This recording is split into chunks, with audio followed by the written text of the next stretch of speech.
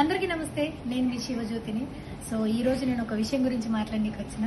అదేంటి అంటే మీ అందరికీ తెలుసు దేవి నాగవల్లి గారు బిగ్ బాస్ సీజన్ ఫోర్లో ఉన్నారు. సో తను చాలా స్ట్రాంగ్ తను చాలా సాఫ్ట్ మీ అందరు కనిపించవచ్చు ఎందుకంత ఏమంటారు మొండిగా లేకపోతే అంత గట్టిగా ఎట్లుండగలుగుతుంది అని.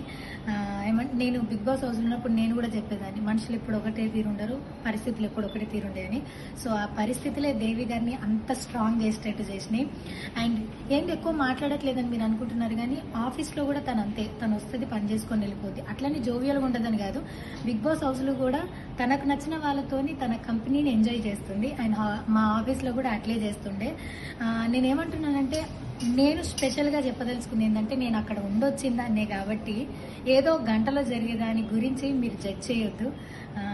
అక్కడ పరిస్థితులు వేరు ఇక్కడ పరిస్థితులు వేరు. సో ఈ ఫీల్డ్ నుంచి జర్నలిస్ట్ ఫీల్డ్ నుంచి న్యూస్ ఫీల్డ్ నుంచి ఈసారి దేవి